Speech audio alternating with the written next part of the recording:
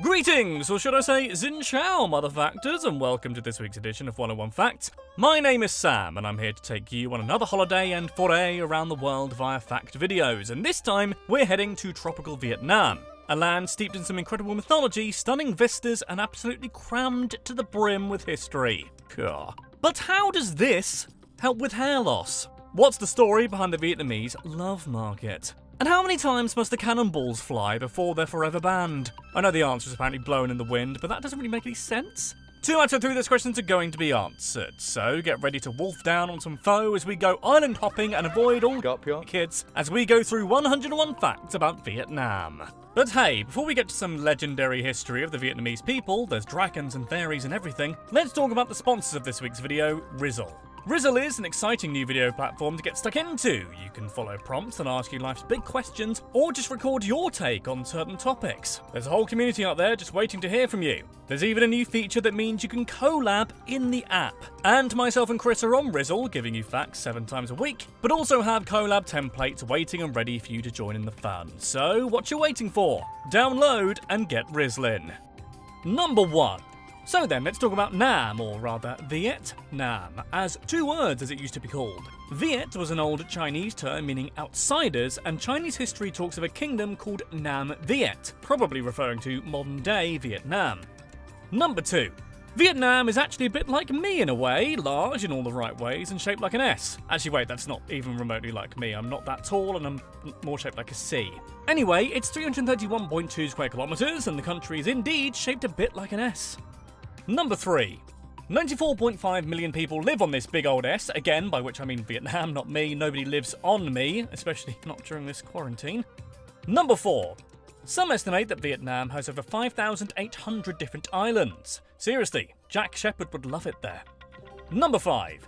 Because of its history, which don't worry we shall partake in in due course, Vietnamese culture is a fusion of different ones, in particular Chinese, Japanese, French, and American.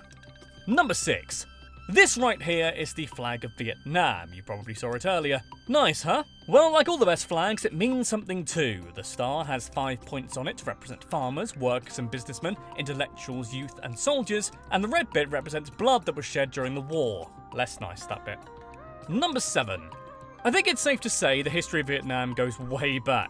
We're talking half a million years back, baby, as that's when archaeological finds suggest humans first rocked up in that area. I mean, that's pretty much dinosaur times, right? Number 8.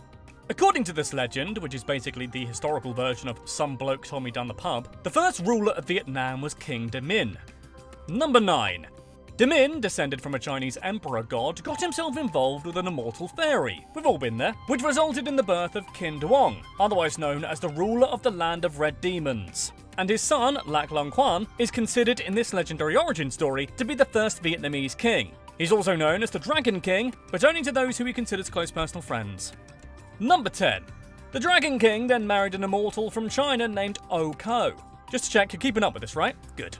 The power couple produced 100 eggs, which birthed 100 sons, from which Vietnam's first dynasty, the Hong Bang, are said to come from. Number 11. I can see the comments now. Sam, you hot bod. This isn't 101 Legends about Vietnam. I came for cold, hard facts. And don't worry, I've got you covered, history nerds. Despite those awesome origin stories, by 111 BCE, Vietnam was conquered by their rather large neighbour, China. Number 12. For the next, oh, I don't know, thousand years or so, Vietnam was effectively under Chinese control. The local culture was suppressed, and Chinese language, culture, and even hairstyles were imposed on the population. Number 13. But it wasn't all bad, I guess. The Vietnamese also learned a lot from China, including how to build dikes and irrigation techniques which made rice and paddy agriculture a staple of life to this day. So I suppose they didn't want to overthrow their oppressors. Number 14. Oh, scratch that. The Vietnamese did their best to kick out their Chinese conquerors. One notable rebellion came in 40 CE when the Trung sisters led an army to victory and declared themselves queens of an independent Vietnam. Their freedom was short lived, however, as the Chinese returned three years later and took back control. Number 15. Fast forward nine centuries or so to the Tang dynasty in China, and they're finding themselves in all kinds of trouble. So Vietnam took the chance to go it alone again. You can do it, guys, I believe in you. Number 16. More precisely, in the year 938, the Vietnamese, led by Ngo Dinh, defeated the Chinese at the Battle of Bach Dang. In a stroke of genius, the Vietnamese secretly placed spikes in the river just below the high tide mark. So when the Chinese ships came chasing after them, their boats were pierced and sank. The Chinese fled, leaving the Vietnamese to go their own way, like some kind of Fleetwood Mac song. Number 17. Now that's not to be confused with another Battle of Bach Dang, which took place 350 years later. By this point, the Mongols had conquered China and fancied a piece of Vietnam too. Living up to their reputation for hordes, the Mongols arrived with 300,000 to 500,000 troops. Number 18. This Mongol invasion came to nothing though after they were defeated in 1288 by a Vietnamese force led by Tran Hung Dao, who remains a bit of a legend. Like the other Battle of Bach Dang River, they used the old stakes hidden in the water trick. Bloody knew they would. Number 19. Unfortunately, fighting off Mongol hordes, keeping China at bay, and expanding southwards took its toll on Vietnam. I mean, I'm exhausted and I only read it out. So, in 1400, the Tran dynasty was booted out, and by 1407, China was back in. Number 20. Once again, the locals were forced to adopt Chinese ways. We're talking growing their hair long and making sure they had white teeth. Plus, Chinese clothing was a must too. Throw in some heavy taxes and slave labour, and this final period of Chinese domination sounds tough. Number 21. It didn't last all that long though. Vietnamese hero Le Loi rose up in 1418 and led the Lam Son uprising for the next decade. Eventually, the Chinese got the message, packed up, and went home. Le Loi declared himself the emperor and started the Li dynasty. Fair enough, I guess. Number 22, Ooh Ooh. Now here's where things start to get a bit complicated. So basically, the Li dynasty, otherwise known as the later Li dynasty, were in power from 1789, but they didn't really have much power from the 16th century onwards. Number 23. Under their watch, and in what can only be described as a bit of historical foreshadowing, Vietnam was effectively divided into two. In the north, the Trinh lords were in charge, and in the south, it was the Nguyen lords who held sway. Number 24. The Trinh and Nguyen lords didn't play nice though, which meant you had a situation where these two ruling families were fighting one another while both serving the Li dynasty, who were technically meant to be in charge, but had about as much authority as a supply teacher trying to control lunchtime detention. Oh, and breathe, I told you it was complicated. Number 25. If you thought the other bit was complicated, you're gonna love this. Basically, three brothers, Nguyen Hue, Nguyen Nhac, and Nguyen Lu, led an uprising known as the Tay Son Rebellion in the 1770s. Number 26. Now, the Nguyen brothers were in no relation to the Nguyen lords and defeated them in the south and the Trinh lords in the north. So now the Nguyen brothers became rulers of Vietnam. Number 27. Except there was another Nguyen, Nguyen Anh, this dude was an exiled Nguyen lord who returned to Vietnam and took over the country in 1802 from the other Nguyens. Got that? Okay, good. So in short, Vietnam was reunited by 1802 and the capital was moved to Hue. Number 28. Now we're in the 19th century, and what's that I can see on the horizon? Is it a bird? Is it a plane? No, it's European imperialism, the French flavour. In 1847, France attacked Da Nang harbour, and a decade later invaded Vietnam. Number 29. France managed to conquer part of Vietnam, establishing a colony called Cochin China in 1862. Number 30. The French were still hungry for more territory though, and over the next 25 years slowly took over the country. In 1887, French Indochina was established, ending Vietnamese independence. Number 31. Now, sure, the French did some stuff roads, canals, harbours, and railways, even connecting Saigon with Hanoi via rail. But life wasn't exactly peachy. By the time World War II broke out, half the population were landless, only 15% of children went to school, and 80% of the population were illiterate. Number 32. When World War II kicked off proper, Vietnam was essentially under Japanese occupation from 1940 onwards, after the French colonial administration invited 30,000 Japanese troops into the country. Number 33. It was during this period, in 1941 to be precise, that some chap called Ho Chi Minh formed the League for the Independence of Vietnam, otherwise known as the Viet Minh. Number 34. By the end of the war, with Japanese power broken and French forces weak, Ho Chi Minh took the opportunity to declare Vietnamese independence in 1945. He even took inspiration from the US Declaration of Independence when he made the announcement. Number 35.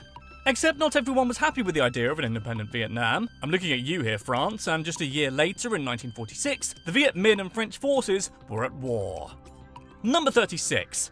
The fight against the French went on for eight years, and this is where American involvement began. You see, that Ho Chi Minh fellow liked to dabble in a bit of old communism, and the USA was coming down with a nasty bit of Cold War fever, so they tried to help the French win. Number 37.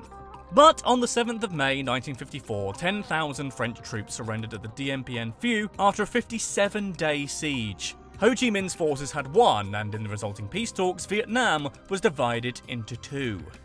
Number 38. The communists got the northern half, while down south, the regime under the anti communist leader Ngo Dinh Diem was founded. Although he wasn't exactly popular and was assassinated in 1963, and South Vietnam only got more unstable from there. Number 39. The North, hoping to unite the two Vietnams, created the Viet Cong to wage a guerrilla war in South Vietnam and by the mid 1960s was also sending its own troops to topple the South Vietnamese government. Number 40.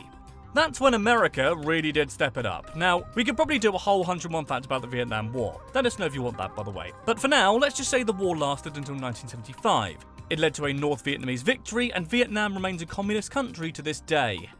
Number 41. But the cost of the war was huge. Over 200,000 South Vietnamese troops were killed, and North Vietnam and Viet Cong losses were at a million. 10% of the entire population, that's 4 million civilians, were either killed or injured in the conflict. Almost 60,000 Americans were KIA or MIA. The meaning of life. This was in due part to attacks like 1968's Tet Offensive, in which North Vietnam launched a series of coordinated attacks against over 100 South Vietnamese cities near the start of the Lunar New Year. Number 43. Now, the US and South Vietnam were taken surprise by this, but held off the attack, meaning the communists never actually took over any of the cities they tried to. Number 44. The war was horrific and known to cause PTSD in many people who fought in it. One particular horrifying event was the My Lai massacre, in which American soldiers killed 400 unarmed civilians in the village of My Lai. Number 45. The My Lai massacre has caused protests across the world, and in fact has since been studied, examining the psychology of the perpetrators and their agency. Number 46. There is now a memorial in Sun Mai called the Sun Mai Memorial, dedicated to the memory of those lost in My Lai. It was built 10 years after the atrocity in 1978. Number 47. While the US left the war in 1973 after they signed a peace treaty with North Vietnam, the South and North kept fighting. In fact, the war didn't really end until the North conquered Saigon and renamed it Ho Chi Minh City. Number 48. By the way, also known as Uncle Ho, Ho Chi Minh's body was embalmed when he died, obviously, and is on display in a mausoleum, although confusingly, that's in Hanoi. Number 49. Ho Chi Minh City has architecture that was very influenced by the French colonialism in Vietnam. For instance, it has the Notre Dame Cathedral Basilica of Saigon, full name Cathedral Basilica of Our Lady of the Immaculate Conception, which was finished by French colonists in 1880. Number 50. Ho Chi Minh City also has lots of subterranean secrets too. Phu To Hoa Tunnel, for instance, was first dug in 1930 by resistance fighters, and the network was then expanded and used for decades. Number 51. There's also a vast network called the Cu Chi tunnels used in Saigon, which has been preserved by the Vietnamese government, all 121 kilometers of it. The tunnels have been made wider, would you believe, to accommodate tourists, and uh, oh, sorry, if you're claustrophobic, you probably should have looked away by now. Number 52. There's a train service between Ho Chi Minh City and Hanoi that's colloquially known as the Reunification Expressway. It serves as a big old 1,726 kilometer long symbol of a unified Vietnam. Number 53. Vietnam's capital is Hanoi, and about 8 million people live there. Really, this should help you out in at least one Zoom quiz, so you're welcome. Number 54. Now, Hanoi means inside the rivers, but it's had a few other names. During different dynasties through history, it's been known as Long Bien, Dai La, Thang Long, Dong Kinh, and Bac Tan. Number 55. Hanoi has a big old bridge called the Long Bien Bridge of Hanoi, which is long and a bridge and in Hanoi. Great name. It was designed by Alexandre Gustave Eiffel. And if that name sounds familiar, it's because he's the bloke that designed the, well, Eiffel Tower and the Statue of Liberty too. He got around. Number 56. Hanoi's Hoan Kiem Lake was home to a legendary turtle called Cu Rua, or Great Grandfather Turtle. Now, people were genuinely devastated when he died in 2016 of natural causes at an unknown age. There was mourning across the country. Number 57. In the 15th century, the legend says, a nationalist hero borrowed a magic sword, possibly from a dragon king, and wielded it to drive out the Chinese forces. He then returned it to a turtle that surfaced in Hoan Kiem Lake, the Lake of the Returned Sword in central Hanoi. Cu Rua was an embodiment of this turtle. Number 58. Turtles are one of the four animals that the Vietnamese consider sacred, along with dragons, unicorns, and phoenixes. Turtles are also the only ones that are actually real. Number 59. In fact, Cu Rua died at such a time it was considered a bad omen. It was when the Communist Party were choosing a new leader for the next five years for the country. Some thought that Cu Rua's death meant doom was coming. Number 60. The largest ceramic mosaic in the world is in Hanoi. It's 4 kilometres long, took 3 years to create, and was based on an idea by journalist Nguyen Thu Thuy. Number 61. We've mentioned it briefly, but Lunar New Year, also known as Tet, is a festival that's a big deal in Vietnam. This usually happens in February. Number 62. Tet usually last for about three days, with big crowds making noises with firecrackers or gongs to try and ward off evil spirits. Silly really, because we know what you actually have to do is cross the streams. Number 63. Tet is also important because the Vietnamese believe that what happens on the first day of the new year kinda sets the tone for the rest of it. Like whatever snack you serve first at a dinner party. That's a good analogy and you know it. This is why cutting hair and fingernails is taboo during this time in case you somehow unknowingly remove good luck. Nintendo 64.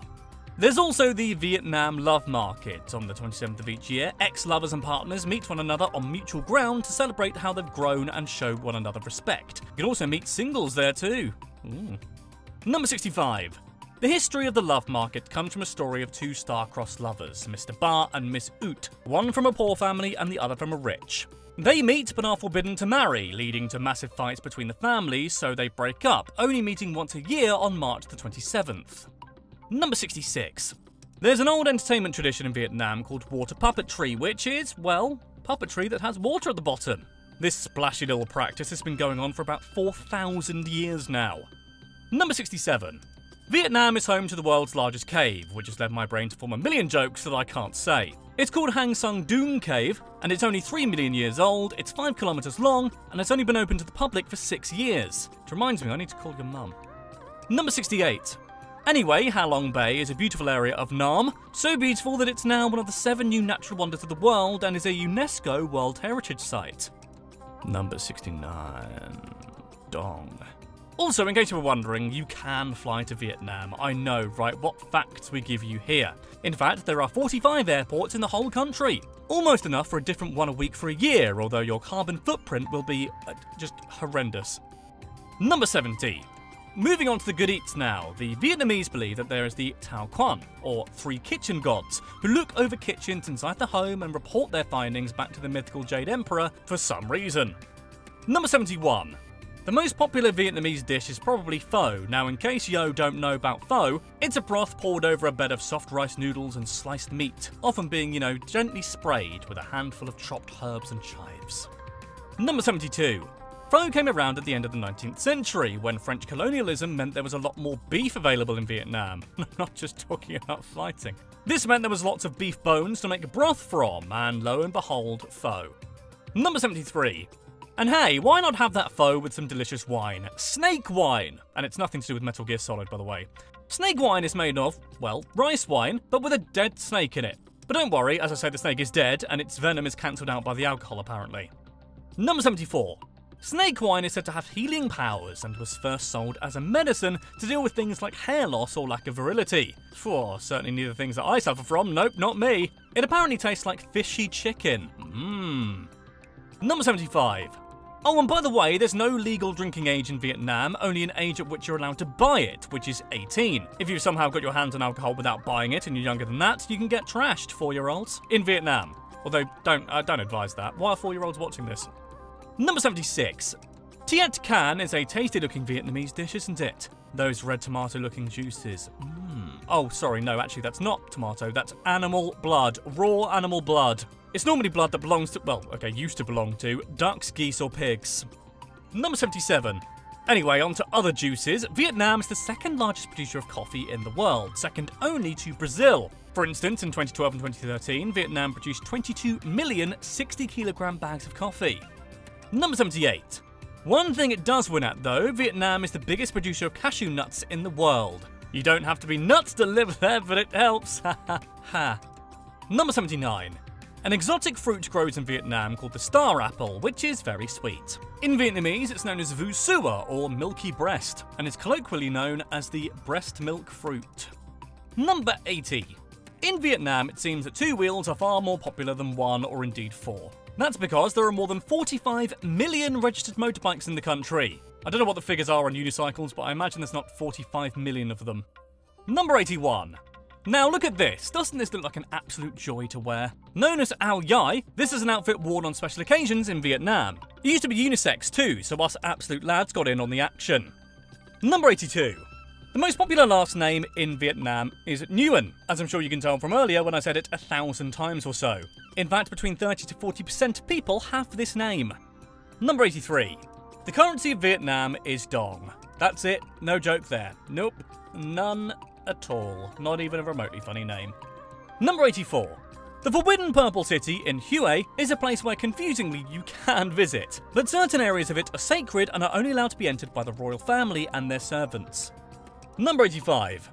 Vietnam has its own sport. It's known as Sepak Takraw or kick volleyball and looks like a bloody good laugh actually, and I wish I was able to do it at PE. High kicks, high kicks, this is how we do it. Number 86. When you're hoping for something, like I am that Jennifer Lawrence meets me, do you do this? Well, don't do it in Vietnam. This hand gesture is actually seen as being incredibly rude there, and will result in not nice things happening. Number 87. Phan is not only a great name for a young prince or something, but it's also a Vietnamese mountain. It's 3,147.3 metres high, the tallest point in the Indo-Chinese province. Number 88. Normally Phan Xipang takes a few days to climb on top of, but luckily you can go by cable car. At 6,292.5 metres, it actually has the Guinness World Record for the longest non-stop three-rope cable car. It takes about 20 minutes. Number 89. 16% of the world's animal species live in Vietnam, making their biodiversity score pretty high all things considered. Number 90. Apparently, according to those money nerds at the World Bank, Vietnam has one of the lowest rates of unemployment in the world, at 2.2% of the population, since you asked, I imagine. Number 91. This absolute little beauty is Ninh Binh. Lovely, eh? If you recognise that, it's where Kong Skull Island was filmed. Everyone remembers that movie, right? Kong Skull Island? Number 92. While it was one of the first Hollywood movies to be shot there, it's not the only one. Films shot in Vietnam include 2015's Pan and upcoming movies The Five Bloods on Netflix and Artemis Fowl on Disney+. Number 93. It may not surprise you to learn that the highest grossing film of all time in Vietnam is Avengers Endgame, with Infinity War at number 3. But in its second is its own Cua Lai Vo Bau, or Win Back My Pregnant Wife.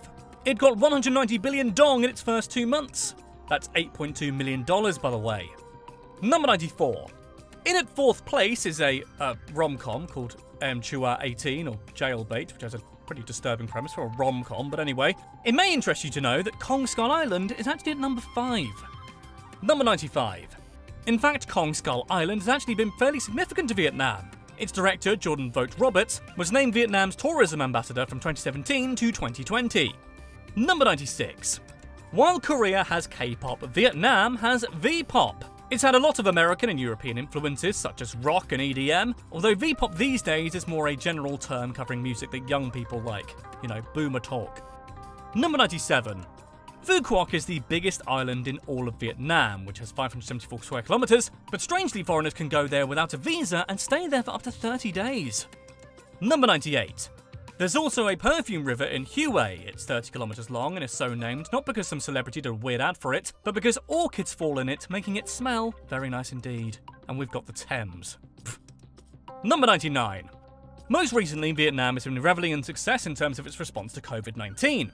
Only about 300 people were infected at all in the country, and of those, nobody died. Number 100. Now, they did this by reacting very, very quickly when cases started appearing and sending anybody who entered the country into quarantine centres. They didn't even have a national lockdown, they only had local ones. They smashed it, basically. Number 101. Vietnam's national animal, by the way, is the humble water buffalo. Look at it, what a unit. So that was 101 facts about Vietnam. Have you been to Vietnam? Are you currently in Vietnam? Do you want to go to Vietnam? Let me know in the comments down below. Also, what else do you want to see from us at 101 Facts, huh? Huh? Hmm? I want to know. And hey, if you can, give this video a like, we'd love it. And also, if you subscribe and you haven't done so already, we'd love it even more. 550,000 lovely mother factors so far. Why not join the club? In the meantime, though, two videos on screen, specially chosen for you. They'll make your dreams come true. Ooh. But which one will do so first? Why not click and have a look? And I'll see you there. Bye.